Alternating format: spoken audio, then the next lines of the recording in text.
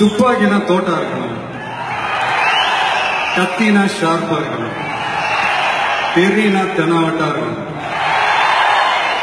மெரசல்னா மிரட்டலா இருக்கணும்.